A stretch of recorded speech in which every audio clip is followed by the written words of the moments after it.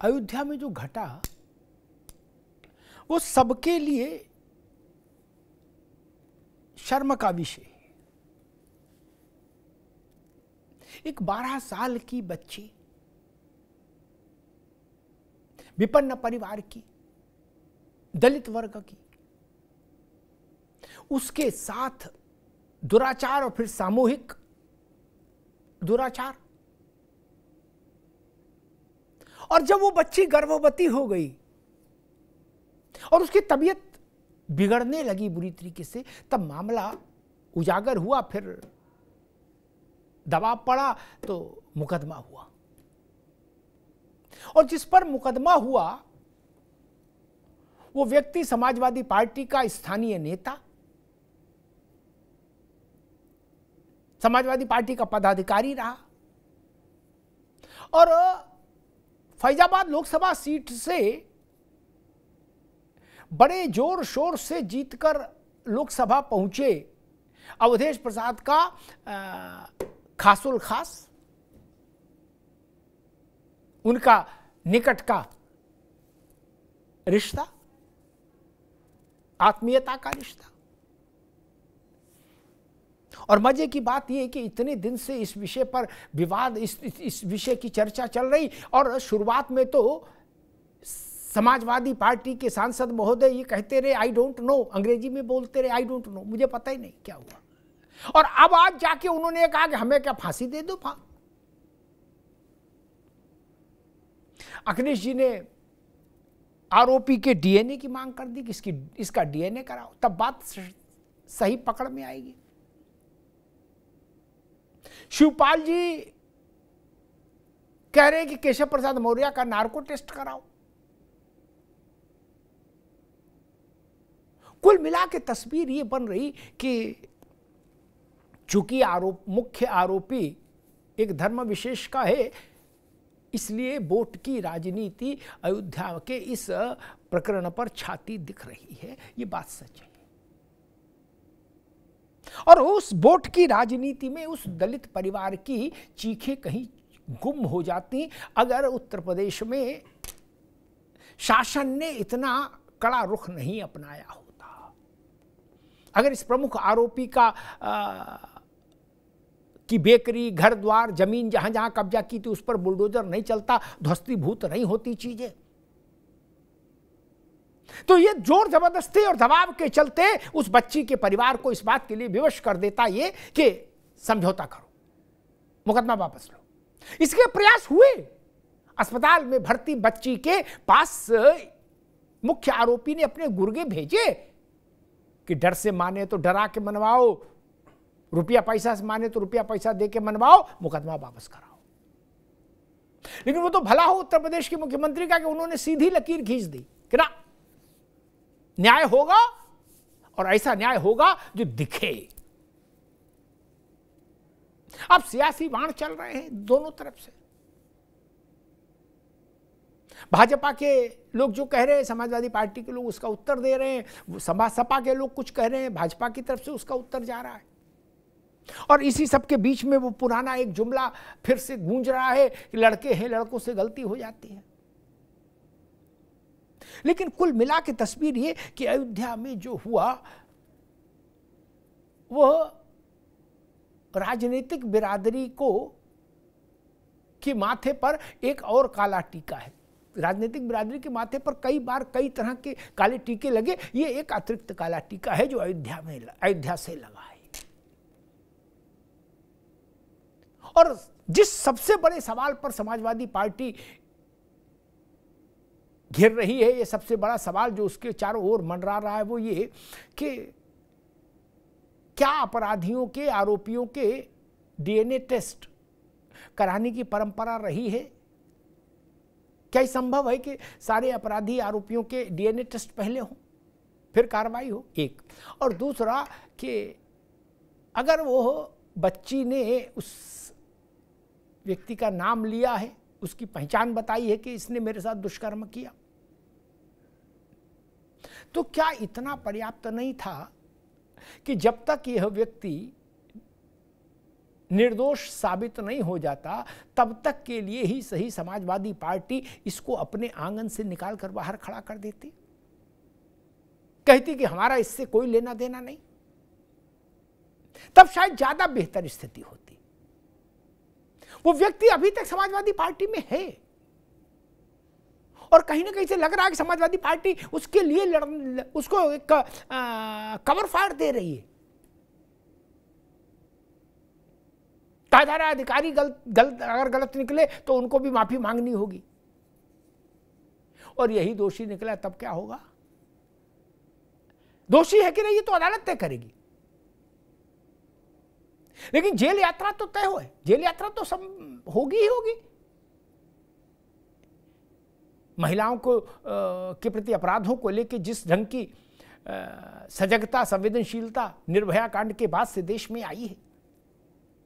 उसके चलते अब यह तो संभावना है कि ये बाहर रहे। जाना तो अंदर पड़ेगा।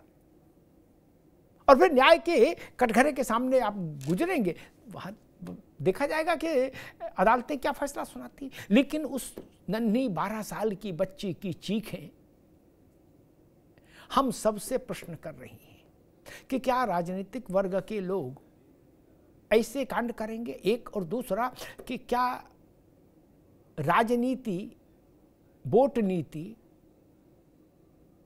गरीब और दलित परिवार की बेटी की चीख से बड़ी हो जाएगी? बड़ा प्रश्न है, मानवीय प्रश्न है। भाजपा, सपा, बसपा, कांग्रेस अपनी जगह। लेकिन ये प्रश्न बड़ा है और सबके लिए है। हमारे साथियों ने इस पर एक रिपोर्ट तैयार की, उस रिपोर्ट को देखिए, फिर मेहमानों से परिचय कराते और फिर बहस में चलते हैं।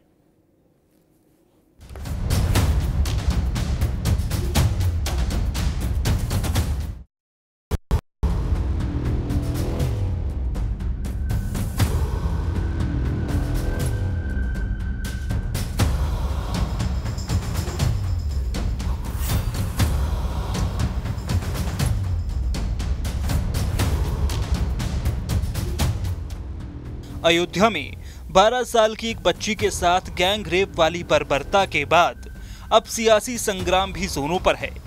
पिछड़ी जाति की बच्ची के साथ हुए इस कुकृत्य में मोहित खान नाम के सपा नेता का किरदार सामने आया है और ये नेता सपा सांसद अवधेश प्रसाद का करीबी बताया जा रहा है।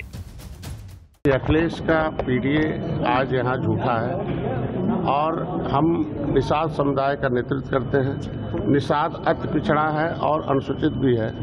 ऐसे में महिला अबला भी है और महिला हमारे यहाँ पूजनी है।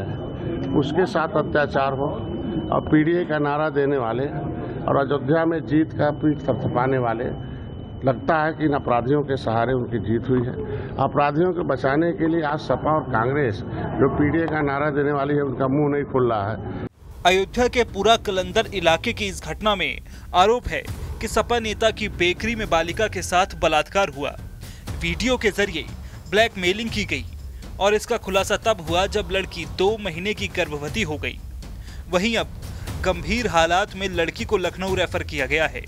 बीजेपी के डेलीगेशन ने परिवार की पीड़ा पर चार पन्नों की रिपोर्ट भी बनाई है। वहीं सीएम योगी के बुलडोजर की कार्रवाई भी जारी है। दोषियों को कड़ी से कड़ी सजा मिलेगी। उनकी पुश्ते भी याद करेंगे इतनी कड़ी सजा मिलेगी। पूरी सरकार पीड़ित परिवार के साथ खड़ी है और किसी भी स्थिति में दोषियों को कड़ी से कड़ी सजा मिलेगी। बीजेपी इस कांड को लेकर सपा पर पूरी तरह हमलावर है। मोहित खान के कारनामे से सपा सांसद भी कटघरे में हैं।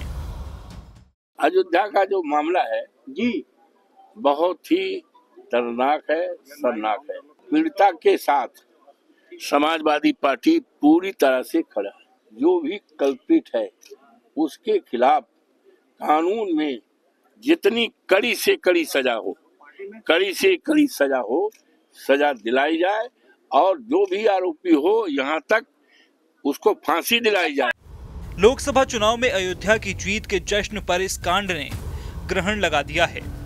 जिस सीट पर जीत पर सपा देश भर में झंडा बुलंद कर रही थी अब उसी अयोध्या में फंसती नज़र आ रही है।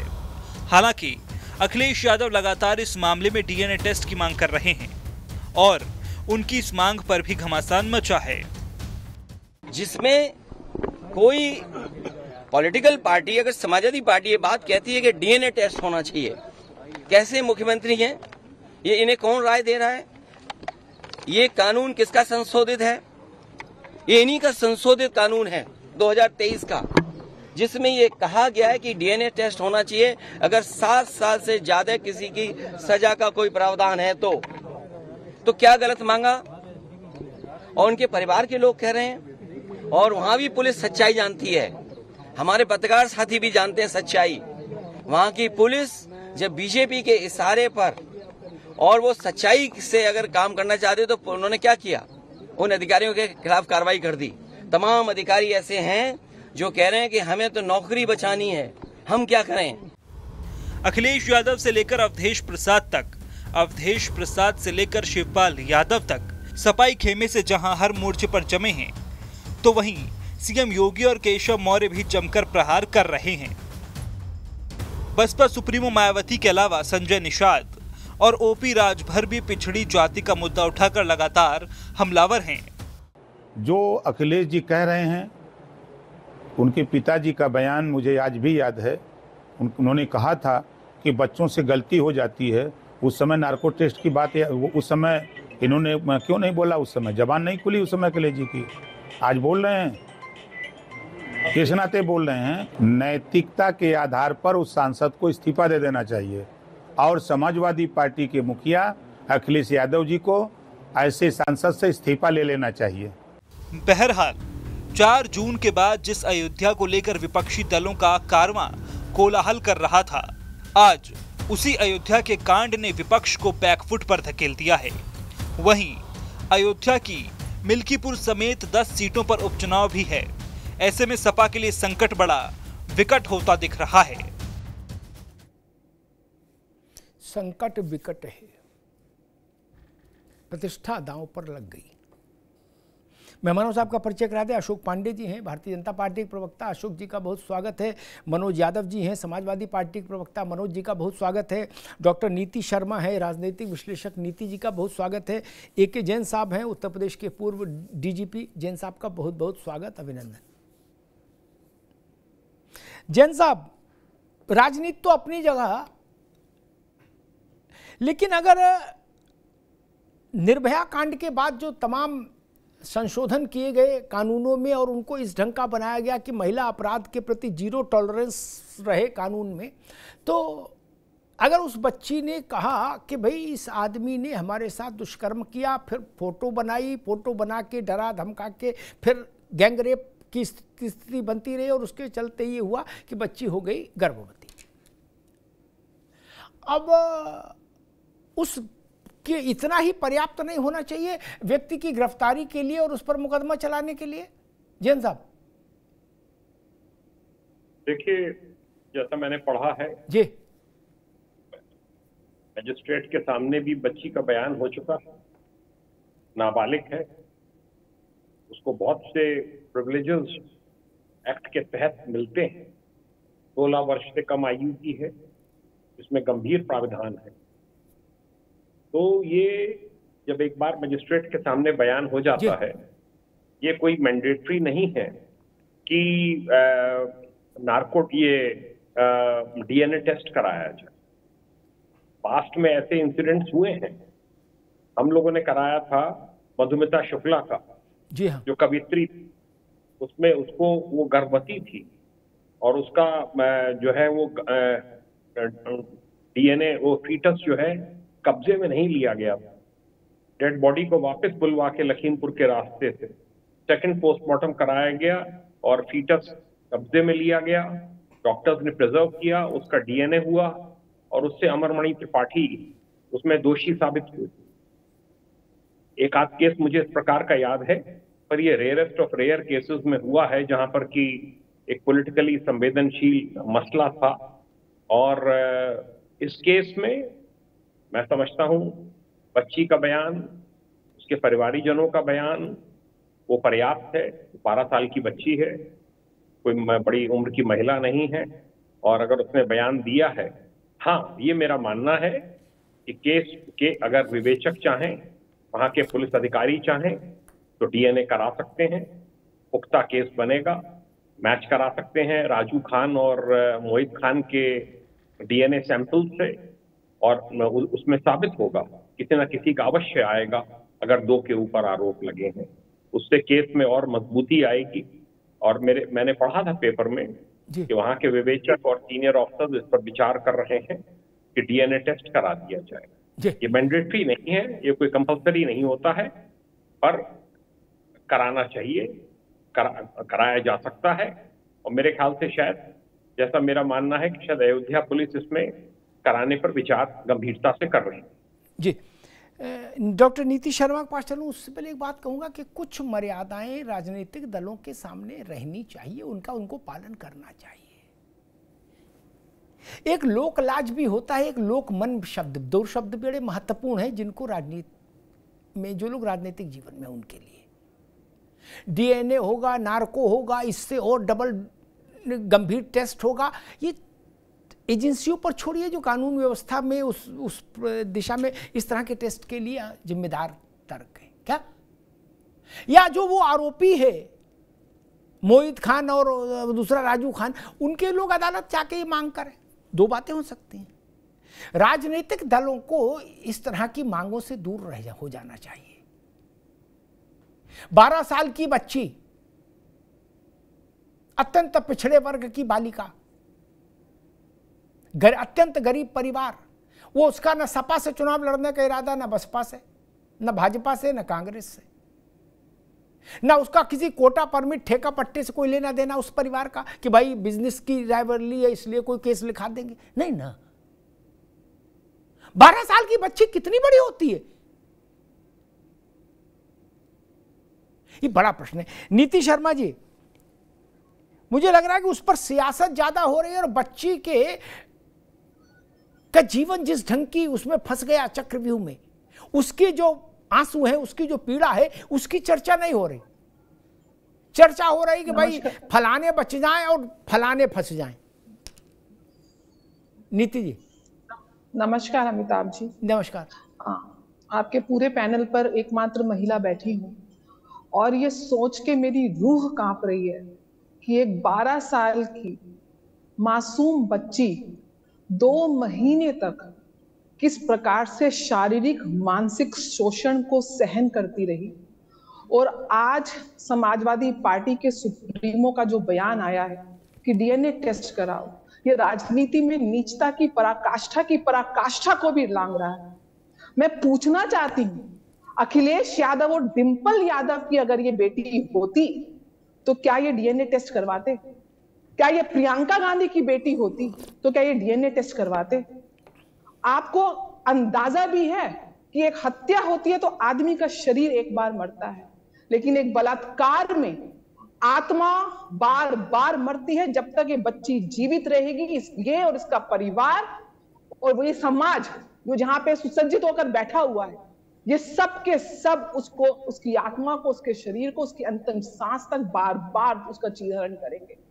आप कल्पना भी नहीं कर सकते उस पीड़ा को जिस पीड़ा पे ये सियासी रोटी सेकने का प्रयास कर रहे हैं। ये वही लोग थे ना जो बोलते थे कि हम पीडीए के लिए आए हैं। तो इनका पीडीए ये है कि प्रेग्नेंट, दलित, अबला, ये इनकी पीडीए की असली परिभाषा है। डीएनए टेस्ट कराना है अमिताभ जी तो उस विचारधारा का कराइए। जो विचारधारा बोलती है कि लड़के हैं, लड़कों से गलतियाँ हो जाती हैं। डीएनए टेस्ट कराना है तो उस विचारधारा का कराइए कि जो कहते हैं कि रेप के अपराधी को क्या मौत की सजा दोगे? डीएनए टेस्ट कराना है तो उस सोच का कराइए। जो अतीक मुख्तार और ये राजू खान और ये मोहित खान जैसे लोगों को संरक्षण दे रहे हैं। डीएनए टेस्ट कराना है तो उस अवधेश कुमार के ट्वीट का कराइए, जो बोलते हैं कि किसी निर्दोष को अपराधी नहीं मानना चाहिए, जैसे ये न्यायालय बन के बैठे हुए और अपने रेपिस को संरक्षण दे रहे हैं। ये डीएनए टेस्ट कराना है तो इस समाज का कराइए कि वो कौन सी विचारधारा वो क्या मानसिकता की न्यूनता है एक बारह साल की बच्चे को भी ये लोग नहीं बख्शते ठीक है ठीक है नीति आज सपा को सोचने की आवश्यकता है। आता हूँ दोबारा आता हूँ आपके पास मनोज जी अयोध्या ने फैजाबाद लोकसभा सीट पर जब समाजवादी पार्टी ने जीत हासिल की तो उसने उस एक इकलौती सीट ने यूँ तो वो एक ही सीट है? लेकिन उस अकेली सीट ने आपकी 36 अन्य विजयों को से भी ऊपर उठाकर खड़ा कर दिया। इसी नाते अवधेश आइकॉनिक फिगर बने समाजवादी पार्टी के पोस्टर बॉय बने। फैजाबाद से लेकर मिल्कीपुर से लेकर और लो, लोकसभा के पटल तक उनका एक प्रोजेक्शन हुआ। एक सही दिशा में एक हो रहा था मैसेजिंग हो रही थी और बाकी विपक्षी दल भी उसमें आपके पीछे खड़े थे कि भाई ए, समाजवादी पार्टी के अवधेश प्रसाद ने अयोध्या में भाजपा को हरा दिया। एक टेंपो बन रहा था एक धारणा बन रही थी। ये जो मसला आया और इसमें जो आरोपी है मुख्य आरोपी मोहित खान उसकी और अवधेश प्रसाद की जो निकटता और उसके बाद कुछ दिनों तक अवधेश प्रसाद का ये कहना कि आई डोंट नो मुझे पता नहीं। क्या जबरन जब आप मांगोगे, जब मैंने कह दिया पता नहीं तो पता नहीं, जबरन तो सवाल नहीं हो सकता मुझसे। आज कहीं जाके जब इतना प्रेशर माउंट हुआ है तो सांसद जी ने कहा है कि भाई दोषी बख्शा नहीं जाए और हम लोग पूरी तरीके से खड़े हैं और अगर फांसी संभव हो तो फांसी की सजा दो, अगर दोषी पाया जाए। क्या आपको लगता है कि वो जो एक टेंपू बना था अयोध्या जीतने वाला, राजनीतिक एक धारणा जो नैरेटिव बन रहा था, उसको धक्का पहुँचा है अवधेश प्रसाद के चलते? बहुत बहुत धन्यवाद। मेरी मांग ये थी अमिताभ कि मुझसे सबसे पहले सवाल पूछा जाए क्योंकि आपकी रिपोर्ट आपके ओपनिंग रिमार्क्स और पूरे देश में जो चर्चा है वो समाजवादी पार्टी से सवाल पूछने की है और ज्ञान दिखाने का ज्ञान बताने का। तो कृपया करके हमसे सवाल पहले पूछे चूँकि हम उत्तर से भरे पड़े और आप दूसरे दूसरों के राय ले रहे हैं। इसमें थोड़ा सा हमें आपत्ति है। अच्छा, हमसे ज़्यादा पूछे चूँकि देश को गुमराह कर दिया है। ठीक। इस देश में वर्ग ऐसा है अमिताभ जी जिसका मैं नाम नहीं दूँगा समझदार समझ जाएँगे। उनमें न्यायिक चरित्र नहीं होता है। और उस वर्ग में भी एक जाति है। उन जाति में न्यायिक चरित्र नहीं होता है।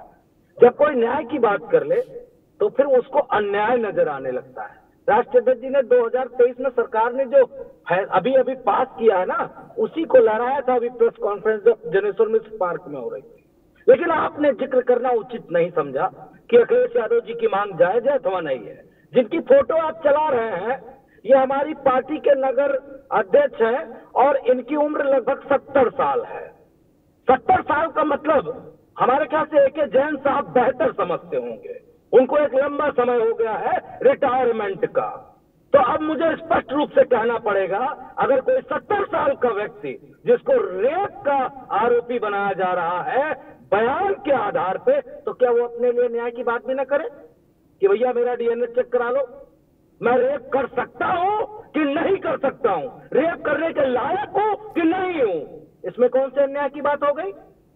इसमें कौन से अन्याय की बात हो गई? और अगर हमने उठा दिया सवाल तो उन लोगों से हमें बिल्कुल नहीं कोई बात सीखनी जिनके अंदर दशकों नहीं, सैकड़ों नहीं, हज़ारों साल से न्याय कोई भी चरित्र नहीं रहा है। उन्होंने न्याय नहीं किया है। वो तो दूसरों के दलितों गरीबों की बेटियों को उनकी डोलियाँ अपने घर में मंगवाते थे। याद तो होगा, अगर खोदने पे आएँगे तो इस देश की जितनी भी परंपराएँ रही अमिताभ जी, वो सब खोद के रखी जाएँगी। हम किसी के पक्ष में नहीं है। अपराध के पक्ष में तो बिल्कुल नहीं है। हमारी पार्टी के हर नेता ने कहा, जो दोषी उसको फांसी चढ़ा दो। बीजेपी के लोगों ने कहा क्या कि बनारस की बेटी के साथ जो इतना विवस्त कार्य हुआ हाथरस की बेटी के साथ हुआ, इतना विवस्त कार्य हुआ, उसको कहा किसी ने कि फांसी चढ़ा देना? है किसी की हैसियत? उन्हीं लोगों की बात कर रहा हूँ। उनमें न्यायिक चरित्र नहीं होता है। और जो हमारी नीति शर्मा जी बैठी है, कहा थी बनारस के केस में? तब इनका चरित्र, इनकी ज्ञान खत्म हो गए थे क्या? हाथरस की बेटी पे जब हो रहा था तो खत्म हो गया था। लखीमपुर में जब इनके दुशासन भाजपा के दुशासन द्रौपदी का चीरहरण कर रहे थे। तब खत्म हो गए थे। अशोक जी आ रहे हैं बस जी। लिविंग रिलेशन में लिविंग रिलेशन में रह रहे लोगों के बारे में कहा कि लड़के हैं लड़कों से गलती हो जाती है। वहाँ भी आपसी संबंध ही था। आपसी संबंध। समझते ना? जिसको लिविंग रिलेशन आप और कानून की भाषा में कहा जाता है। तब वो उनका ज़रूर कोट किया जाएगा बयान। नेताजी ने कहा था कि लड़के हैं लड़कों से गलती हो जाती है। और जो जो लोग वीडियो बना बना के हिमाचल प्रदेश से लेके और पूरे देश में जिनके वीडियोज़ वायरल हो रहे हैं जिनको उन धाराओं का उन चित्रों का ज़िक्र मैं नहीं करना चाहता हूँ उन पे सबके मुँह में टेप लग जाता हम न्यायिक चरित्र वाले लोग हैं जो हक है वो कहेंगे ठीक है ठीक हमारे यहाँ एक और कह दूँ। जी। हमारे यहाँ नेता है गायत्री प्रजापति जी। उनके ऊपर आरोप लगा रेप का। बात को वही बालिका पलट गई कि नहीं नहीं हमारे साथ रेप नहीं हुआ। हमारे साथ बीजेपी के लोगों ने हमसे कहा कि आरोप लगा दिया कि कह दो कि हमारे साथ रेप किया गया। याद नहीं है क्या? आप लोग भूल जाते हैं कि और समाजवादी पार्टी अपनी बात पे लग गए ठीक है बिल्कुल करे खूब करे। बात करने की इस देश में बाकी किसी की आज़ादी हो ना वो बात करने की सबको आज़ादी है खूब आज़ादी है। जाति की बात आई कुछ। अशोक जा रहे हैं बस। मैं सिर्फ़ इतना कहूँगा कि अपराध में जाति का मसला नहीं होता, न धर्म का होता है।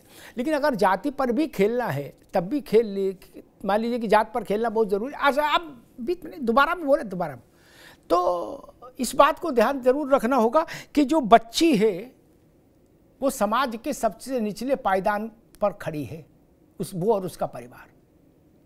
उसी की वकालत हो रही है ना? फिर? उससे निचला पायदान क्या है समाज में? वो तो खुद सबसे निचले पायदान पर खड़ा है परिवार भाई। ठाकुर ब्राह्मण की लड़ाई तो नहीं हो रही ना, जिस ओर इशारा किया जा रहा था। मल्लाह है। तब इसलिए राजनीतिक लोगों को ये वाणी संयम ज़रूर रखना चाहिए, क्योंकि ये जाति का मामला होता है, बड़ा संवेदनशील होता है। इसमें एक बार बोलते हैं और सौ बार उसकी ध्वनि समाज में गूंजती है अलग अलग ढंग से। वो फिर बड़ा नुकसान देती है कई बार। फिर वो पता लगता है कि दस दस साल पहले बोला था और दस साल तक उसका नुकसान हो रहा है। अशोक पांडे जी, समाजवादी पार्टी कह रही है कि भाई, अगर जो 2023 में कानून बदला, जिस कानून में कहा गया डीएनए वही तो हमने कह दिया तो इसमें क्यों हंगामा हो रहा है? और अवधेश प्रसाद कह रहे हैं कि अगर दोषी पाया जाए मोहित खान तो उसे फांसी चढ़ा दो। देखिए आपको बता दें कि सबसे बड़ा दुर्भाग्यजनक ये है कि 12 साल की पिछड़ी जात की बेटी वो कह रही है कि वरिष्ठ सपा नेता मोहसिन खान और उनके लोगों ने बलात्कार किया। इसे नहीं मानेंगे ये लोग। ये नहीं मानेंगे क्योंकि दलित गरीब की बेटी है। और हर हर हालत में अखिलेश यादव बचाने का अंतिम कुप्रयास कर रहे हैं उस अपराधी का, जबकि बेटी ने खुले आम कहा है कि महीनों से वरिष्ठ सपा नेता मोइन खान, उनके लोगों ने मेरे साथ बलात्कार किया है इसके अलावा कुछ हो ही नहीं सकता। और डीएनए की बात करके अखिलेश ने देश की सारे माताओं, बहनों को बेइज्जत करने का काम किया है। तुष्टिकरण, खाली कुर्सी की खातिर अखिलेश यादव ने माताओं बहनों को अपमानित करने का काम किया है। उनकी भी बेटी है, उनकी भी बहन होगी, लेकिन इस तरह की भाषा बोलना दुर्भाग्यजनक है, अपमानजनक है। हिंदुस्तान की माताओं सावित्री के लिए अपमान है कि वो कह रही है, मेरे साथ बलात्कार हुआ है और अखिलेश यादव हर अंतिम प्रयास कर रहे हैं बलात्कारी को बचाने का। वही भाषा मुलायम सिंह बोलते हैं नौजवानों से गलतियाँ हो जाया करती है। जब हम फांसी की सजा का प्रावधान ला रहे थे अखिलेश यादव ने टेस्ट करके वरिष्ठ सपा नेता मोइन खान को बचाने का काम कर रहे हैं। मनोज बोल रहे हैं। सब चटके बट्टे हैं। बलात्कारियों का मेरा कहना है ये जो बलात्कारियों के साथ है।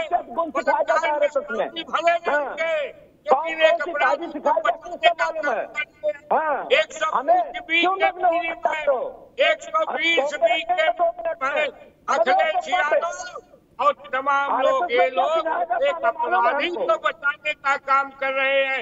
एक छोटी बेटी के साथ अनल हो गया। नहीं करेंगे। अवधेश प्रसाद तो कह रहे हैं क्या फांसी दे दोगे? जो नए नए अयोध्या के राजा हुए हैं। अरे मर्यादा पुरुषोत्तम का वह वो जिला है मालिक। जरा सा भी सीखो एक दलित पिछड़ी जात की बेटी के साथ रेप होता है। सफ़ाई रेप करते हैं। अब बेहयाई बतियाने का काम कर रहे हैं। इससे बड़ा दुर्भाग्य क्या ठीक है। ठीक है अशोक जी। रुकना होगा, मैं जैन साहब चलूँगा, लेकिन एक बात कह दूँ, मनोज जी जितनी हैसियत आपकी, उतनी अशोक पांडे जी की इस मंच पर। ठीक? ना आपके एक जगह रुक जाओ, ना आप बड़े हो, ना वो छोटे हैं, ये समझ गए ना? अच्छे समझ लो। जो हैसियत आपकी वही उनकी। आप भी एक पार्टी के प्रवक्ता हो, वो भी एक पार्टी के प्रवक्ता है। इसलिए अपनी हैसियत खुद ना नापो। सबकी हैसियत बराबर है। समझ गए? बस इस बात को ख्याल रखो। इस बात को बिल्कुल गांठ बाँध लो। बाकी सब जगह चलता होगा यहाँ नहीं चलेगा। यहाँ चल ही नहीं सकता आप जानते हो मुझे यहाँ ये सब नहीं चल सकता। जितनी हैसियत किसी भी पैनलिस्ट की है उतनी दूसरे की है। पैनलिस्ट कौन होते एक दूसरे की हैसियत तय करेंगे आप तराजू लेके बैठेंगे। आप अपनी पार्टी के प्रवक्ता वो अपनी पार्टी के प्रवक्ता है। ये आप कैसे कह सकते हैं इनकी, इनकी हैसियत क्या है? हमसे सवाल पूछेंगे। गजब बात है यार। डिक्टेटरशिप है क्या? नहीं आप अपनी पार्टी के प्रवक्ता हैं, वो अपनी पार्टी के प्रवक्ता है। इसलिए मर्यादा का ख्याल ज़रूर रखिए। जैन साहब, एक बड़ी विचित्र सी बात है। सामान्य रूप से यह भी देखा जाता है कि व्यक्ति का मोटिव क्या है किसी को डिफेम करने का। क्या? झूठा मुकदमा लिखा दिया तो उसके पीछे देखा जाता है, लिखाने वाले का हैबिचुअल ऑफेंडर है क्या? साल में एक आध मुकदमा लिखाता है। ठेका पट्टी की कोई लड़ाई है? राजनीतिक कोई प्रतिद्वंदिता है? नहीं, मेरे ख्याल से देखे जाते हैं ये चीज़ें। अगर ये कोई चीज़ नहीं पाई जा रही, और एक ताकतवर व्यक्ति के विरुद्ध बच्ची बयान दे रही है, मजिस्ट्रेट के सामने खड़े होकर, तब उस बयान की तो कीमत हो, और सामान्य बयानों से अधिक होनी चाहिए। नहीं प्राइमरी फिसाई तो यही देखा जाता है कि जिसने मुकदमा लिखाया, उसका कोई इसमें लफड़ा जपड़ा है क्या? जैन साहब, इस पे राजनीति हो रही? वो लड़की बताया गया है कि बेकरी में ही काम करती थी। पिता की दो वर्ष पहले मृत्यु हो गई। बहन है और माँ है कि मिलकर अपना परिवार का गुजारा कर रहे हैं। इसमें कोई दो राय नहीं है कि प्रेगनेंसी है और बारह साल की बच्ची की प्रेगनेंसी को टर्मिनेट करने का वो भी उसके ऊपर भी उस पर चिंतन चल रहा है उसको शायद आज K G M U Lucknow shift किया गया। शिफ्ट किया यहाँ पे बेहतर ट्रीटमेंट मिल सके जो सर्कमस्टांसेस हैं जिस प्रकार के आरोप लगाए हैं मजिस्ट्रेट के सामने बयान दिया है जो अपराध की पृष्ठभूमि है उससे बड़ा ऑब्वियस सा है कि एक बारह साल की बच्ची है कोई अधेड़ उम्र की महिला नहीं है मैंने पहले भी कहा। अगर उसने आरोप लगाए हैं मजिस्ट्रेट के सामने उन आरोपों को दोहराया है चार्जशीट लगाने के लिए पर्याप्त है। और जैसा मैंने पहले भी कहा कि अगर क्योंकि देखिए कोई और सरकमस्टांशियल एविडेंस नहीं है जैसे सिमन स्टेन्स होते हैं और चीज़ें हैं मौके से कुछ और कोई आ, हैं, वो सब बरामदगी नहीं हो सकती है। तो इसमें जो है, अगर डीएनए टेस्ट करा लिया जाए तो मैं समझता हूँ कि एक पुख्ता सबूत अभियुक्तों के विरुद्ध बनेगा, मैच करा लिया जाए। अगर दो ही ने उसके साथ बलात्कार किया है, जैसा बच्ची का कथन है तो अवश्य ही उसमें से एक ना एक का डीएनए मैच करेगा। और वो बहुत मजबूती देगा आगे अच्छा जैन साहब एक सवाल मेरे जहन में आता है क्या? चार लोगों ने रेप किया दो लोगों ने रेप किया एक से अधिक लोगों ने रेप किया है? एक सीन रख रहा हूँ। डीएनए कराया गया जो लोग कुछ फ्रेम में थे उनके सबके ठीक? उसके जो बच्चा है गर्भ में उससे डीएनए मैच हुआ ठीक? तब तो एक ही का होगा। और बलात्कार किया दो ने तीन ने चार ने मान लीजिए। तब बाकी तीन गंगा नहा लेंगे। बोले मेरा तो डीएनए मैच नहीं किया। जैन साहब लेकिन बलात्कार तो अपराध है ना। ये ये कतई भी कतई भी दूसरों को राहत इस बात से नहीं मिलेगी। जो बयान है बच्ची का उसी पे उसी पे चार्जशीट लगेगी उसी पे ट्रायल होगा। और ट्रायल होगा और मेरा ये मानना है कि इसमें लाइफ इम्प्रिजनमेंट से कम की सजा भी नहीं होगी। एक बारह साल की बच्ची के साथ इस प्रकार का अपराध करना मजिस्ट्रेट के समक्ष बयान होना ये एक बहुत बहुत एक गंभीर अपराध है। जी। और इसकी गंभीरता डीएनए जिससे मैच करेगा उससे तो होगी ही पर जिस जिस पर उसने आरोप लगाए हैं सबसे डीएनए मैच करना जैसा कि आप भी जानते हैं ये संभव नहीं। हर किसी से डीएनए मैच नहीं कर सकता। डीएनए एक ही से मैच करेगा। और जो आरोप उसने लगाए हैं, कोर्ट के समक्ष उसने रिपीट किए हैं चार्जशीट उसी पे लगेगी। मूल प्रश्न वही है। डीएनए एक से मैच करेगा। कन्या कह रही है कि मेरे साथ सामूहिक दुष्कर्म हुआ। और कई लंबे समय तक हुआ। बाकी लोग क्या डीएनए की आड़ में छूटने की गुणा गणित में लगे हैं? और अगर नहीं तो डीएनए का शोर क्यों? अंततः एक एक के बयान के बाद बच्ची के पुलिस को तो अपनी कार्रवाई करनी ही चाहिए। और न्याय की अदालत में न्याय के शिक्षी के भीतर जाके उनको खड़ा करना चाहिए। नीति शर्मा जी, प्रश्न वही है। एक से डीएनए मैच हुआ, लड़की हाइपोथेटिकल मान लीजिए मैच हुआ किसी एक्स से, ठीक? और लड़की कह रही है बाई और जेड ने भी मेरे साथ दुष्कर्म किया। तब क्या करें? अगर हम डीएनए की बुक के हिसाब से चलें तो फिर तो बाई और जेड तो बाहर हो गए। वो तो पान खा घूम सकते फिर कहीं। बाई जेड बाहर नहीं हुए केवल, सपा के प्रवक्ता को आपने सुना नहीं। वो तो सत्तर साल के एक बुज़ुर्ग को भी बाहर कर रहे हैं। अगर सौ साल का भी होता ना, मिस्टर यादव, और आपकी बेटी होती इसकी जगह तो मैं आपसे पूछती कि वो क्या कर सकता और क्या नहीं कर सकता। शर्म नहीं आती आपको इस मंच पे एक 12 साल की बच्ची के साथ, एक 70 साल के बुढ़े ने किया उसकी मानसिकता को सोचते हुए? और यहाँ पे आप उसको डिफेंड कर रहे हैं लिविंग रिलेशनशिप के साथ। आपको शर्म आती है? ये बोलते हुए भी क्या राजनीति इतनी प्रिय हो गई? क्या 20 परसेंट को साधना कंसोलिडेट करना इतना प्रिय हो गया कि सत्ता को सीट के साथ आपको चिपकना इतना प्रिय हो गया कि आप संवेदन टीम की भी पराकाष्ठा को लांग गए। आपको शर्म नहीं आती है कि आप भी एक्स और वाई और जेड की बात कर रहे हैं? मैं बार बार बोल रही हूँ, यह डीएनए का सवाल ही नहीं है अमिताभ जी। आप कल्पना करिए, उस बच्ची को वो किस पीड़ा से गुजरी होगी? उस बच्ची को वो किस पीड़ा से ज़िंदगी भर गुजरेगी, वो और उसके, उसका परिवार। और ऐसी कितने ही महिलाएँ कितनी बच्चियाँ होंगी जो आपको जन्म देती हैं। हम और आपका जन्म किसी महिला के माध्यम से ही हुआ है। आप एक मात्र शक्ति का अपमान और उसका कैरेक्टर असैसिनेशन कर रहे हैं। और वहाँ पे भी आप ये देख रहे हैं कि क्या उम्र थी, कौन एक्स था, कौन वाई था, किसका जेड मिला। शर्म आनी चाहिए इस मंच पे अगर हम ये बात कर रहे हैं। निश्चित रूप से शर्म आनी चाहिए। घोर से घोर सजा। ये तो बुलडोजर की बात कर रहे हैं। जीवित उस आदमी के ऊपर अगर वो अपराधी पाया जाएगा उसके ऊपर सरे आम बाज़ार में बुलडोजर चलाना चाहिए। कि अगर कोई ये विचार रखता भी है अपराध का उसकी रूह काँप जाए। इस प्रकार की सजा मैं भारत के न्याय तंत्र से अनुरोध करती हूँ।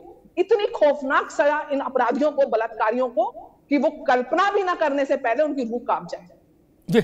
ये केवल अपराधियों का संरक्षण करने वाली पार्टी यहाँ पर बैठी है और आज उसका जवाब देने के लिए अगर बात ठीक है आ गई नीति जी आ गई बात नीति जी आ गई मनोज जी मैं वही मूल प्रश्न पर लाऊँगा डीएनए ये स्थापित कर देगा वैज्ञानिक रूप से कि बेटी के गर्भ में जो वो है बच्चा है उस उसका मैच कर गया तो माना जाएगा भाई ये व्यक्ति जिम्मेदार है उसके लिए इस संतान के लिए।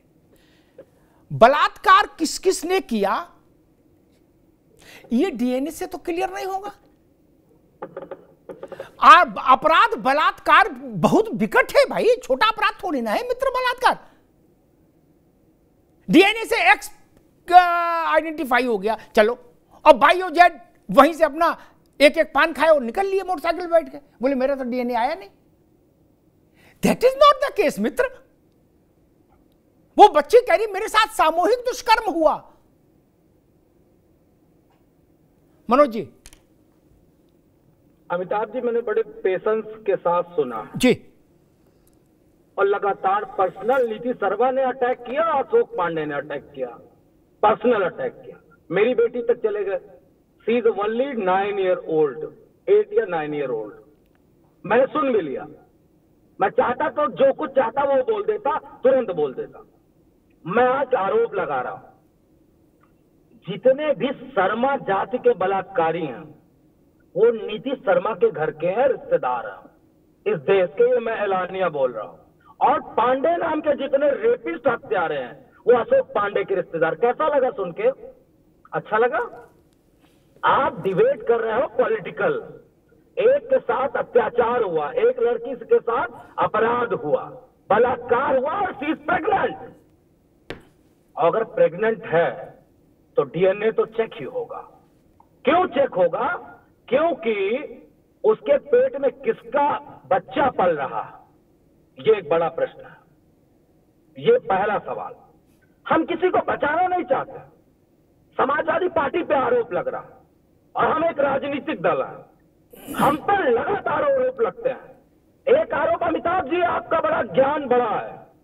बदायूं हत्या बदायूं में दो लड़कियों को टांग दिया गया था पेड़ पे। संयुक्त राष्ट्र संघ तक बीजेपी गई थी, लंगोटा कस के। और जानते क्या कहा गया था? हत्या है।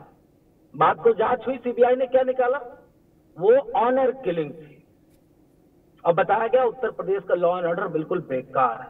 वो आरोप हमने झेला। हमारे हिस्से में गया। माँ बाप को तो जाँच के बाद पता चला। ठीक इसी तरह, उत्तर प्रदेश में जो केस उठा के देख लो। समाजवादी पार्टी के जिम्मे जाता है। हम सत्ता में नहीं है। किसका दोष है?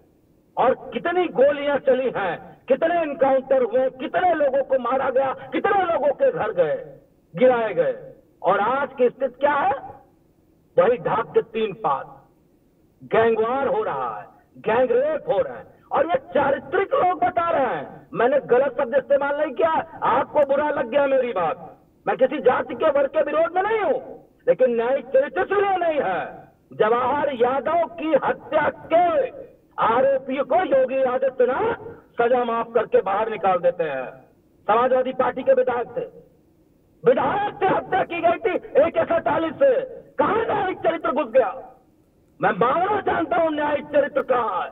अब हमको कर लो। हम किसी के पक्ष में नहीं है। लेकिन आरोप समाजवादी पार्टी पे ठीक है मनोज की ठीक। बात की जा रही है। ठीक है अब रुक जाओ आगे बात आगे। ठीक है आ गई मनोज बाबू आ गई बात आ गई अशोक पांडे जी ठीक है मनोज भाई आगे बात आगे। अशोक पांडे जी प्रश्न फिर वही है। बच्ची के गर्भ में किसका बच्चा ये डीएनए प्रूफ कर देगा। बच्चे के शरीर के साथ कितनों ने नोचा खसोटी की कितने राक्षस उसके शरीर के साथ व्यवचार कर कर गए, ये कैसे जाँच होगी? डीएनए में तो आएगा नहीं है फिर क्या करें? बंद कर दे फ़ाइल? अशोक पांडे जी? मनोज जी, आपके अब अभी नहीं अब अशोक पांडे। जी। ये तो ऑलरेडी कानून में है कि वो जिसके साथ बलात्कार हुआ है, एक छोटी सी बच्ची के साथ कितना शर्मनाक है और किस तरह से बेसर मौके मनोज बोल रहे हैं, बड़ी हँसी आ रही है। वाह, बहुत सही। बड़ा अच्छा है कि योगी जी की सरकार है। कहीं अखिलेश जी की सरकार होती तो आज मोइन खान बाहर होते उस बेटी की लाश का भी पता नहीं चलता। इस बात को मनोज अपने आप स्वीकार कर कि अगर इनकी सरकार होती तो रेपिस्ट बाहर होते और वह बेटी की लाश न मिलती। कितनी देखिए बड़ा अच्छा है योगी आदित्यनाथ जी की सरकार है। ज़ीरो टॉलरेंस की सरकार है कोई भी बलात्कारी बचने वाला नहीं है। बना दिया।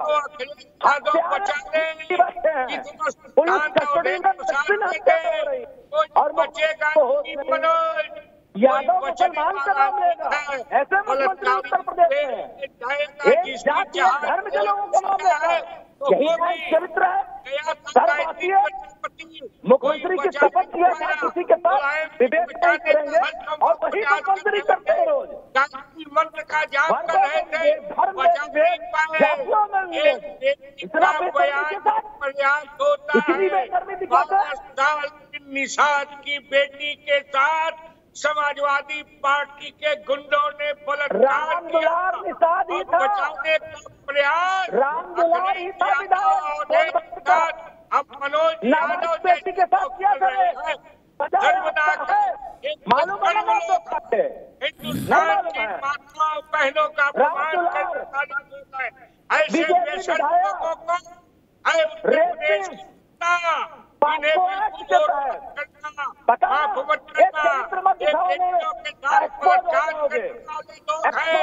को बचाने वाले लोग हैं। देख लो इनका शादी चेहरा। ये लोग बलात्कारी के साथ खड़े हैं। हमेशा उत्तर प्रदेश की जनता बलात्कारियों को बचाने वाले लोगों का। उत्तर प्रदेश में अपराध का राजनीतिकरण किसने किया था? यही लोग किए थे। यही लोग थे जो अतीक अहमद से मुख्तार अंसारी जैसे लोगों को देवता बना तब भी नहीं बता थोड़ा। प्रदेश में के साथ टीवी पे बोल रहे हो। योगी आदित्यनाथ ने हत्या तो करवा दी। और क्या क्या कराओगे इतना बेशर्म हो। टीवी हत्या की गई उसके बावजूद भी सवाल लेते हो। शर्म नहीं नहीं कर ठीक है दोनों लोग रोकूँगा। अशोक यादव को भी अशोक पांडे जी को रोको मनोज यादव को भी रोको। दोनों लोग अशोक जी रुकना होगा मनोज जी रुकना होगा रुकना।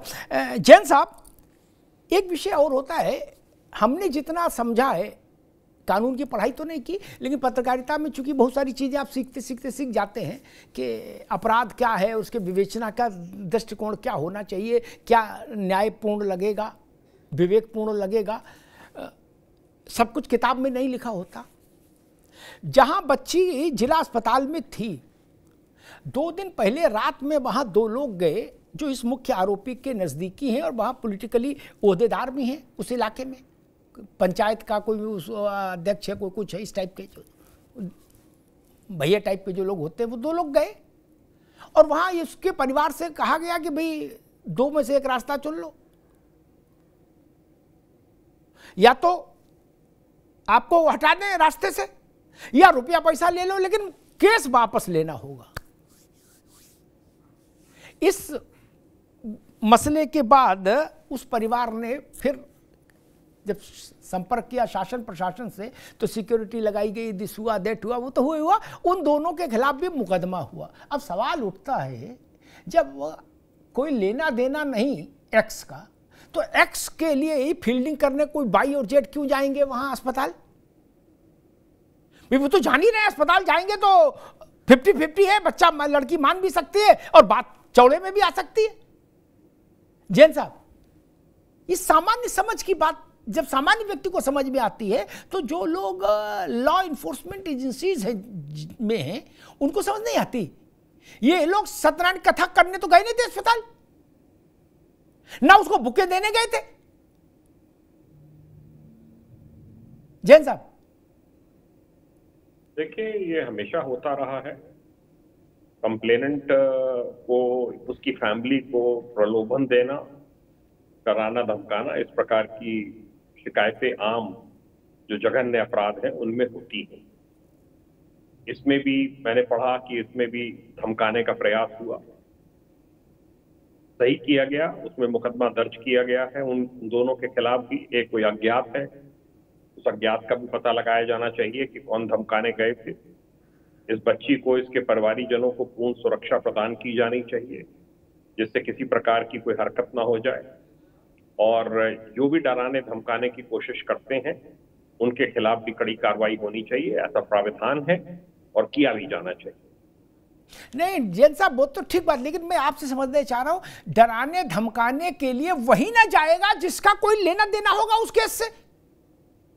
वही ना जाएगा। जब केस ही टोटल झूठा है तो कोई डराने धमकाने क्यों जाएगा? वो कह कर, कर दे तेरे मन में आए सो हम देख लेंगे अदालत में। नहीं। जब कर नहीं तो डर क्यों? राशिद जो है वो वहाँ का नगर पंचायत का अध्यक्ष बताया जाता है।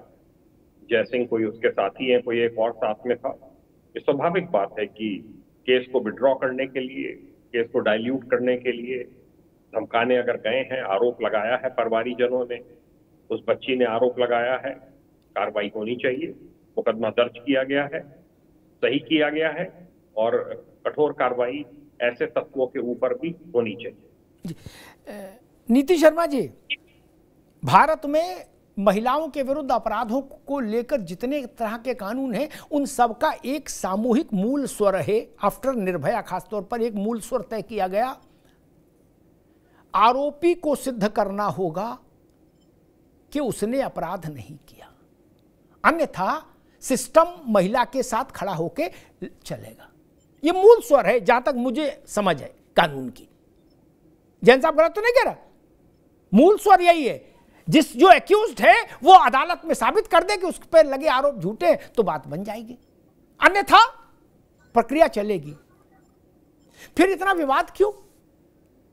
अच्छा पढ़ी लिखी बड़ी उम्र की, के महिला हो, जिसने जीवन के तमाम उतार चढ़ाव देखे हो तो वो तमाम चीज़ों से प्रभावित भी हो सकती है। बारह साल की बच्ची जो खेलने की उम्र है, वो किसी षड्यंत्र और दुनियादारी के खेल से तो प्रभावित नहीं हो सकती। सामान्यतः यही धारणा सबके मन में है, नीति जी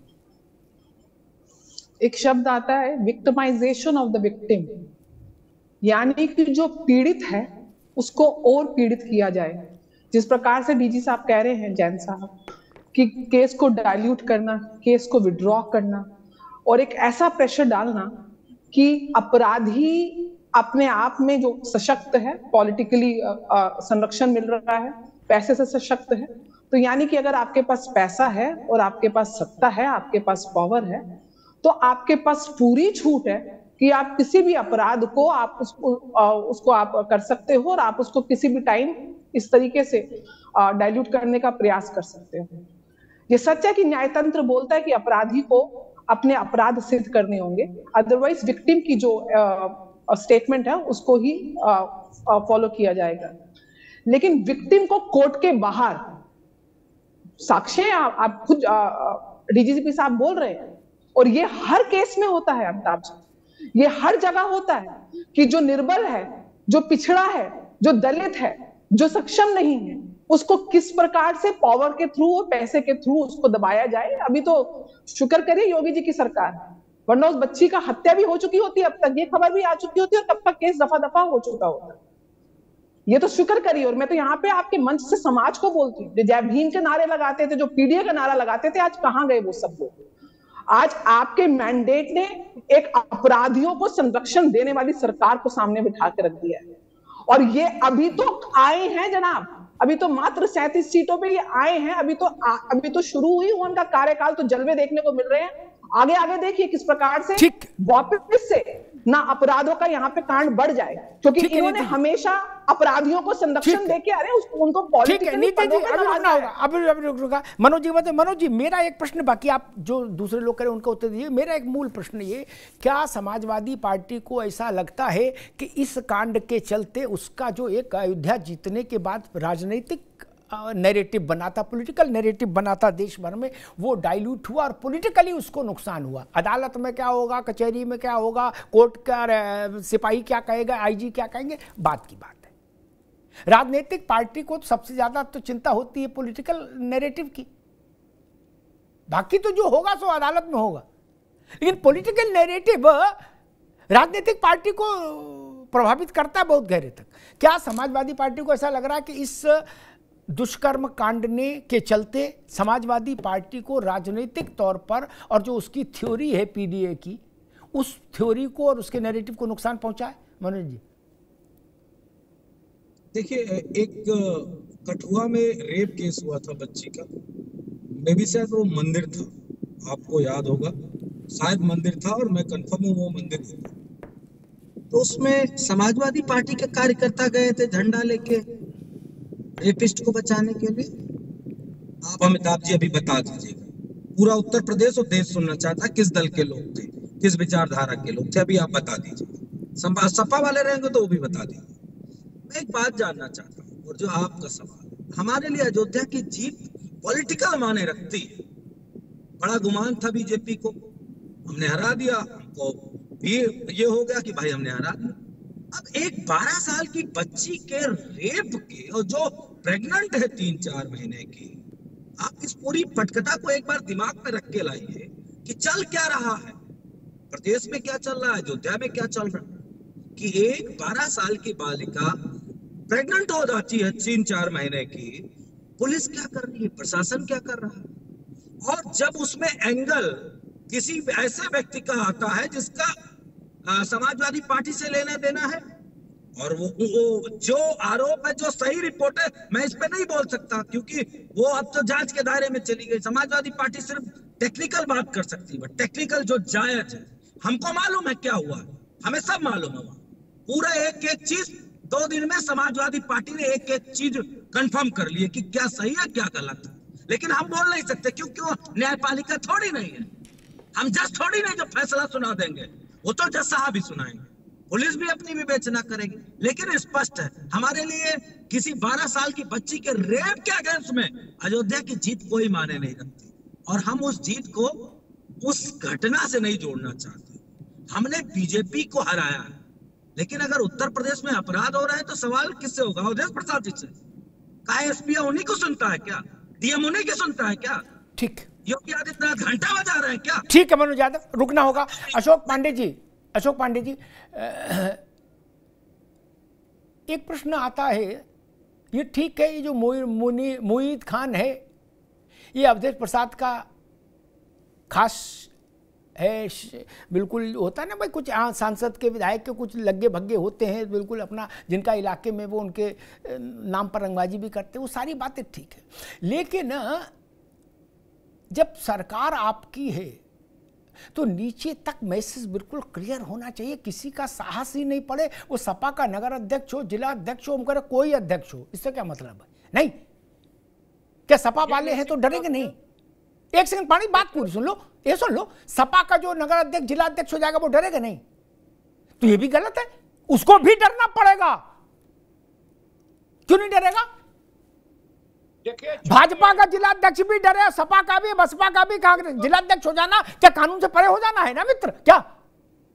नहीं निश्चित तौर पे आपको बता दें कि ये हमारी सरकार ही है जो यहाँ तक मैसेज गया कि हम ज़ीरो टॉलरेंस वाले लोग हैं किसी को नहीं बख्शेंगे तब उस बेटी ने बोला वरना समाजवादी पार्टी की सरकार होती तो लड़की लड़की का बाप आज पते नहीं रहता कहाँ चली गई अब मोइन खान राजा हरिश्चंद होकर उभर गए होते, बड़ी तेज़ी के साथ नौजवानों से गलतियाँ हो जाया करती है काके पान खाने चले गए होते।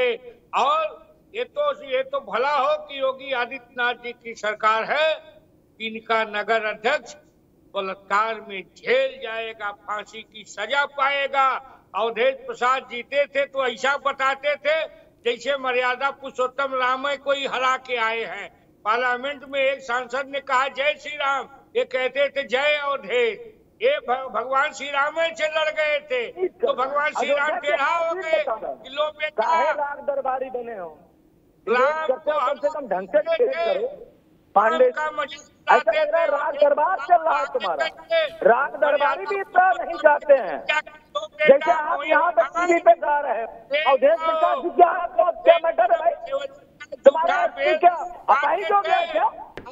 विकलांग है क्या? हाथ नहीं है मानसिक दुर्लभता आ गई है क्या? एस एच ओ बीमार है क्या? कैसे चल रहा है वो? कौन रहा है उत्तर प्रदेश में? है। अपराध आपकी सरकार में और सवाल समाजवादी पार्टी से पूछा जाएगा। बेसरमी के साथ बात करते हो। समाजवादी पार्टी की जवाब करोगे। बेसरमी के साथ टीवी डिबेट करते हो। समाजवादी पार्टी के हैं। अब बनारस की बेटी के साथ रेप होगा तो उनको दो महीने तक नहीं पकड़ा जाएगा। तो नौजवान लड़के रेपिस्ट नहीं निकलते हैं। बेसरमी आती है ना? कहाँ रहते हो बनारस में ही तो रहते हो ना अशोक पांडे जी? आपका भी रिश्तेदार था क्या उसमें? उसमें एक थे एक थे ना? आप ही के रिश्तेदार थे क्या? वन बी एच के जो रेप केस के अपराधी हैं। आप ही के रिश्तेदार थे क्या जो दो महीने तक नहीं पकड़े थे? और वो राम दुलार जो विधायक है आपको जो पकड़ा गया है जिसको जेल हो गई है। ठीक। वो भाजपा का ही तो है। ठीक है दोनों में थोड़ा ना नहीं दोनों में थोड़ी आवाज़ बंद कर दीजिए। दोनों की आवाज़ बंद कर दीजिए ठीक आगे बात आगे भाई आगे आगे। अपना अपना व्यक्तिगत अकाउंट बहस के बाद सेटल करो। दो तीन बातें बड़ी प्रमुख हैं जो मुझे लगता है आ, हमेशा ध्यान रखी जानी चाहिए। ऐसे घृणित और जघन्य अपराधों में राजनीतिक लोग जब आए, नेम्ड हो तो राजनीतिक पार्टियों को, के नेतृत्व को चाहिए कि उनसे दूरी बना लीजिए तत्काल। और कम से कम तब तक के लिए बना लीजिए जब तक वो अदालत से बरी होकर ना आ जाए। यह सामाजिक शुचिता और सार्वजनिक जीवन की मर्यादा का प्रश्न है। कांड कोई रहा हो, हर कांड में यही होना चाहिए। किसी पार्टी का कांड रहा हो, हर कांड में यही होना चाहिए। हर पार्टी में यही होना चाहिए।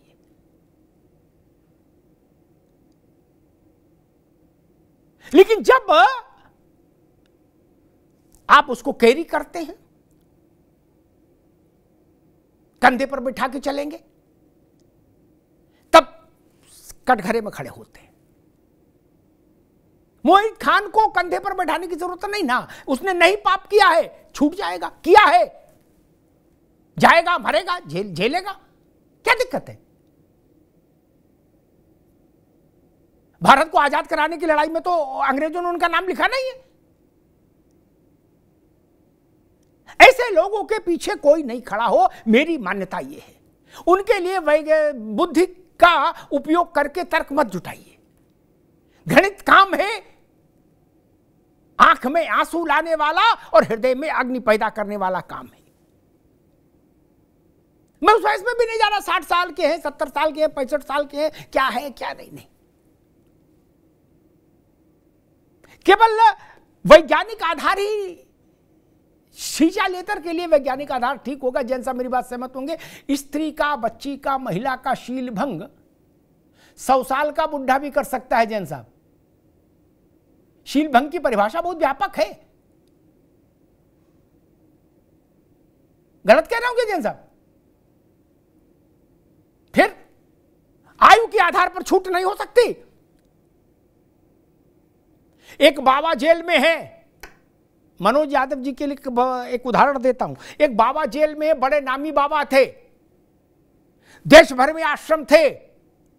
और जैन साहब, एक बार बाबा ने हमसे कहा था, जब हम उनसे मिले, बोले, इस जेब में यहाँ की सरकार और इस जेब में यहाँ की सरकार रहती है बच्चा। क्या? वो जब गए जेल, ऐसे ही कार्यक्रम में तो उनके वकीलों ने भी कहा, बाबा बूढ़े हैं। क्या? सत्ताईस बार सुप्रीम कोर्ट में अलग अलग नामी गिरामी वकील जमानत की अर्जी दाखिल कर चुके हैं। करोड़ों रुपया खर्च हो गया। बाबा जेल से बाहर नहीं आया एक दिन के लिए भी। बोलो, सियावर रामचंद्र की जय। बाबा ने भी यही ड्रामा किया था कि मैं तो बुढ़ा हूँ, मैं तो चल ही नहीं पाता। लोग कुछ नहीं। मुंसिफ नहीं हाई कोर्ट के जजों ने, भारत की सबसे बड़ी अदालत ने उसको जमानत नहीं दी। आज तक 27 बार जमानत रिजेक्ट हो चुकी। और जन साहब देश का कोई ऐसा बड़ा वकील नहीं जो उनकी उनके लिए वकालतनामा दाखिल नहीं कर चुका। फिर भी जमानत नहीं हुई। मुझे नाम लेने की ज़रूरत नहीं, सब समझ ही गए होंगे। उनकी शकल सूरत तो इस मोहित से भी ज़्यादा गंभीर थी।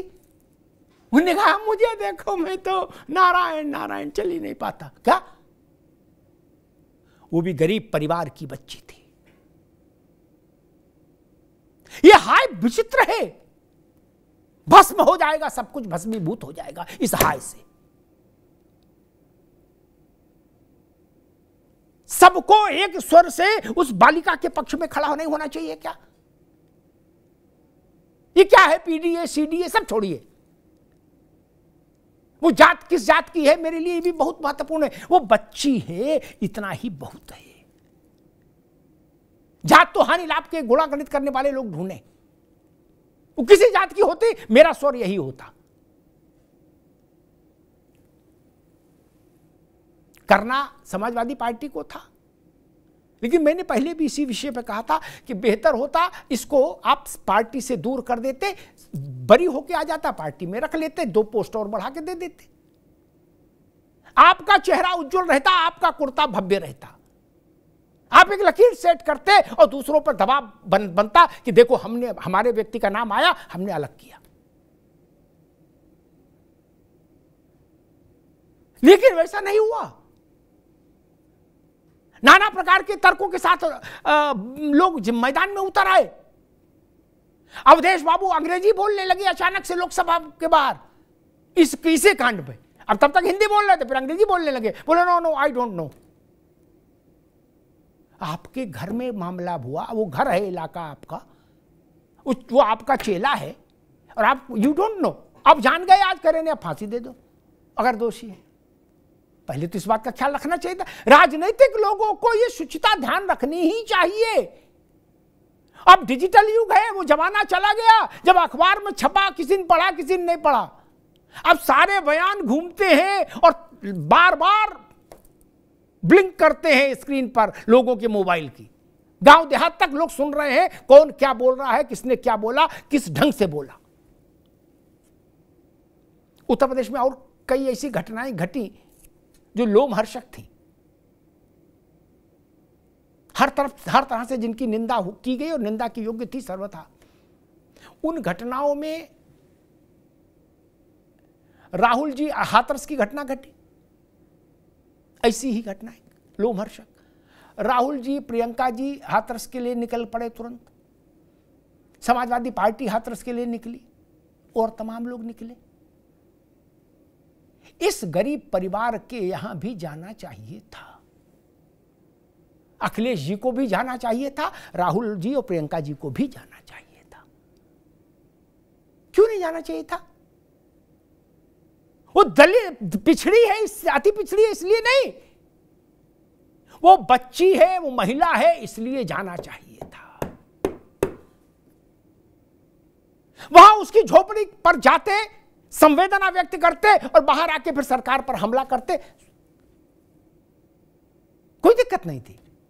राजनीतिक लोग हैं, सरकार पर हमला करेंगे, विपक्ष में लेकिन उसकी देहरी तक जाना चाहिए था। अखिलेश जी को भी जाना चाहिए था और अवधेश प्रसाद को भी जाना चाहिए था। आपके इलाके की घटना घट गई। देश भर में उस पर आक्रोश है, चर्चा है। अवधेश बाबू के पास समय नहीं। जाना क्यों नहीं चाहिए था भाई? वो नारा लगा रहे थे अवधेश के समय में सपाई नारा लगा रहे थे कि न मथुरा, न काशी, अवधेश पासी जीत जीत गए ना आप। तो आपको अपनी जनता के प्रति ज़िम्मेदारी नहीं बनती कि अगर आपके इलाके का व्यक्ति, का परिवार इस संकट से गुजर रहा है, एक बारह साल की बेटी तो सांसद वहाँ मौजूद होता जाकर? नहीं। सांसद व्यस्त है। किसी पार्टी का सांसद होता इसको जाना, जो उसको जाना चाहिए था। नहीं जाएँगे। अखिलेश जी पीडीए की धारणा लेकर आए। क्या अखिलेश जी को जाकर उस परिवार के आँसू के नीचे अपनी हथेली नहीं लगानी चाहिए थी लगानी चाहिए थी। रा, राहुल गांधी उन्होंने लोकसभा में एक चक्रव्यूह बताया। ठीक बात ठीक बताया होगा। वो राजनीति अलग है। लेकिन क्या संवेदना ये नहीं कहती कि राहुल जी या प्रियंका जी में से कोई एक जाता उस परिवार के पास? नहीं। क्यों नहीं गए? इसके पीछे एक ही दृष्टि दिखती है। आरोपी जिस वर्ग से है आपको कहीं ऐसा तो नहीं लग रहा कि इधर कुआँ उधर खाई, इधर जाए तो ये नाराज़, उधर जाए तो वो नाराज़। ये तराजू वाला जो दृष्टिकोण है, ये ठीक नहीं। अगर ये मोहित खान की जगह मान लीजिए, कोई और नाम और कुछ और होता इसका नाम, सुनील प्रसाद या कुछ और होता तो शायद चले जाते। लेकिन अब बीच में मोहित खान फंस रहे हैं क्या? इसलिए नहीं जा रहे आप हिचक रहे? भारत की राजनीति में यह हिचकिचाहट खत्म होनी चाहिए। यह हिचकिचाहट सही फैसला लेने से रोकती है, न्याय के रास्ते में अवरोध पैदा करती है। मोहित खान है, इसलिए नहीं जाएँगे। क्यों? बोले दूसरे लोग नाराज़ हो जाएँगे। ठीक नहीं यह पीडीए है, इसलिए जाएँगे। यह अति पिछड़ी है, इसलिए जाएँगे। मैं इन दोनों तर्कों के साथ नहीं खड़ा हो सकता। वो व्यवचारी है व्यक्ति। इसलिए उसकी निंदा होनी चाहिए। ये पीड़ित है बालिका, इसलिए इसके पक्ष में खड़ा होना चाहिए। मेरे लिए दो ही सिद्धांत है। तीसरा, कोई सिद्धांत नहीं हो सकता। जाति, धर्म, मज़हब, पार्टी, इसके आधार पर ना मैं पीड़ा को आंक सकता हूँ, ना मैं सांत्वना की मात्रा तय कर सकता हूँ। हर समझदार व्यक्ति की ये ज़िम्मेदारी है कि इस परिवार के साथ खड़ा हो। इसको न्याय मिलना चाहिए। दोषी कोई हो, किसी पार्टी का हो, इससे कोई फ़र्क नहीं। न्याय का शासन, उसका इकबाल बुलंद रहना चाहिए। और मैं स्थानीय प्रशासन से भी कहूँगा, ये जितने भी लोग दाएँ बाएँ से उस परिवार को प्रभावित करने की डराने, धमकाने की कोशिश कर रहे हैं, इनके खिलाफ भी निष्ठुरता और प्रामाणिकता के साथ कार्रवाई होनी चाहिए। ये बड़ा सामान्य चलन है कि लिखा दो, मुकदमा देखें, कैसे आगे बढ़ोगे। ये नहीं होना चाहिए। शासन की शक्ति उस बच्ची के परिवार के साथ लगनी चाहिए ताकि वह अपने मुकदमे को पूरी दृढ़ता के साथ लड़ पाए और आगे बढ़ पाए। राजनीतिक दलों को अगर वो उस परिवार के साथ संवेदना नहीं व्यक्त कर सकते तो इस मामले से कम से कम दूर रहिए। ऐसा कोई व्यूह रचना में मत फंसिए जिससे एक इंप्रेशन ये जाए कि कुछ लोग मोहित खान के पक्ष में खड़ा होने की कोशिश कर रहे हैं। मोहित खान को अपनी लड़ाई अदालत में लड़ने दीजिए। मोहित खान आगे बढ़ो, हम तुम्हारे साथ हैं। ये नारा स्वीकार योग्य नहीं हो सकता। धन्यवाद।